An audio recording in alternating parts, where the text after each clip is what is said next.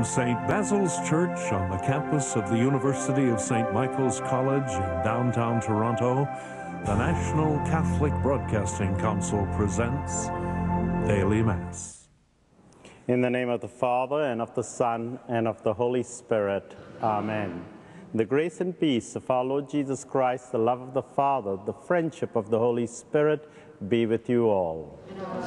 Welcome to the celebration of this Eucharist. The televising of today's Mass is made possible by a contribution from Jane Chewy and Garth Horn from Saskatoon, Saskatchewan, in memory of Jane's sister Elsie Chewy, who passed away on the 8th of August 2009.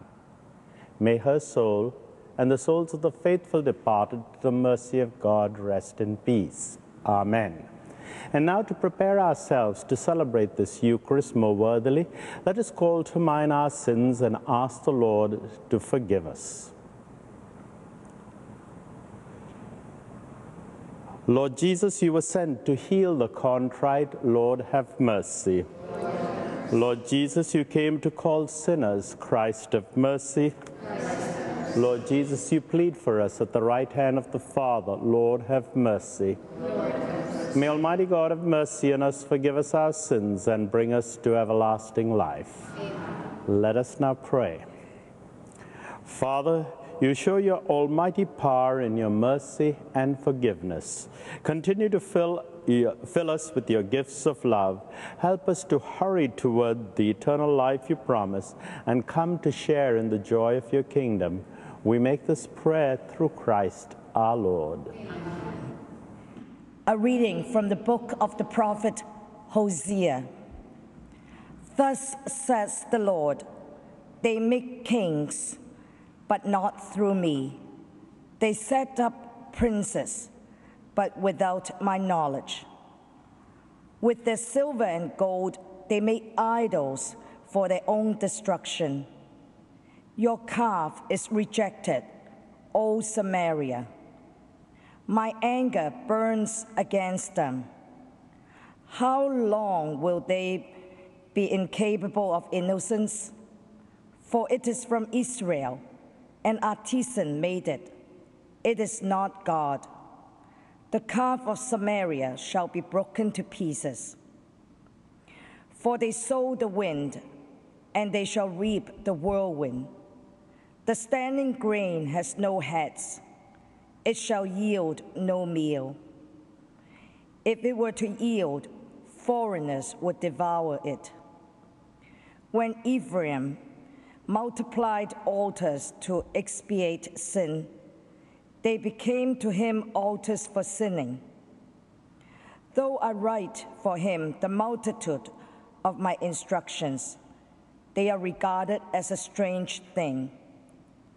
Though they offer choice sacrifices, though they eat flesh, the Lord does not accept them. Now he will remember their iniquity and punish their sins. They shall return to Egypt. The word of the Lord.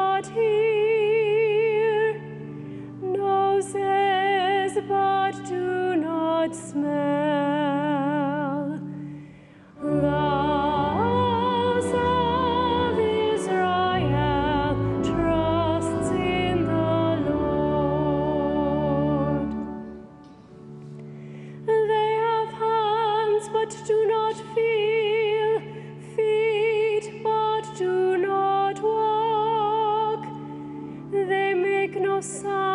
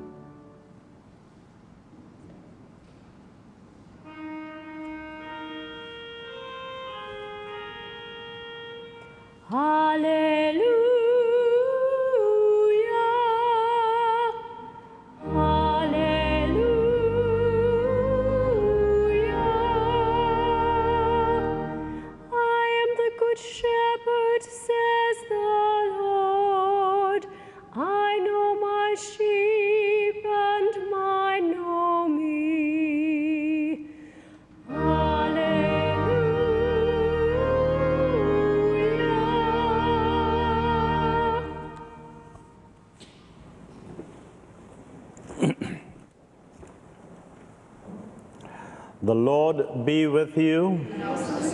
A reading from the Holy Gospel according to Matthew. As Jesus was walking along, a demoniac who was mute was brought to him, and when the demon had been cast out, the one who had been mute spoke. And the crowds were amazed and said, Never has anything like this been seen in Israel. But the Pharisees said, By the ruler of the demons, he casts out demons. Then Jesus went around all the cities and the villages, teaching in their synagogues and proclaiming the good news of the kingdom and curing every kind, every disease and every sickness. When Jesus saw the crowds, he had compassion for them because they were harassed and helpless, like sheep without a shepherd. Then he said to his disciples, The harvest is plentiful, but the laborers are few. Therefore, ask the Lord of the harvest to send out laborers into his harvest. The Gospel of the Lord.